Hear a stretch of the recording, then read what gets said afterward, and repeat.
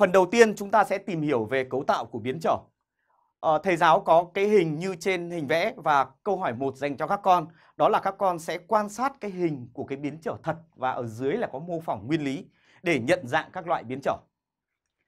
Cái loại đầu tiên, loại đầu tiên có cấu tạo như thế này. Ở đây là con nhìn mô hình cấu tạo ở phía dưới cho nó dễ, còn đây là hình thật, còn đây là hình mô phỏng.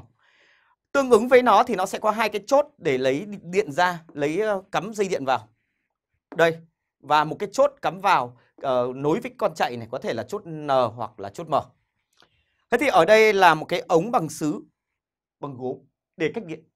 Trên này thì người ta cuốn rất nhiều vòng dây điện trở xếp khít với nhau. Đây. Thế và khi dịch chuyển cái con chạy C này, con chạy này hoàn toàn có thể dịch chuyển dọc theo cái trục này. Đây tương ứng ờ, tương ứng với hình mô phỏng là dịch chuyển dọc theo cái trục này.